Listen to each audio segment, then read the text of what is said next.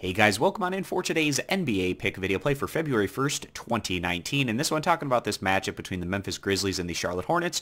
And we're going to give our lean on where we see the better value on the over-under, a relatively low total at just 206 and a half points. If you're interested in getting all of our NBA picks for today's action, you can check those out over at stumpthespread.com which is linked down in the video description. So whenever we have the Memphis Grizzlies involved, we tend to get lower totals as the Grizzlies, they're 30th in the NBA in scoring average compared to first in total team defense. And the average total that we get from a Memphis game this year is a little over 204 points. So just a couple of points below what we're given here in this matchup. In their last outing, the Grizzlies playing in another lower scoring contest on the road against the Minnesota Timberwolves, losing that one in competitive fashion by a final of 97 to 99. Now they're heading in to the second leg of a back-to-back road trip here, taking on the Charlotte Hornets, who are a group that, even though they're two games below 500, they still have a decent shot at trying to make a run into the postseason because in the Eastern Conference, it's a pretty weak playoff picture down there at the bottom of those playoff standings. And actually, the Hornets are only a half game out of first place within the Southeast Division.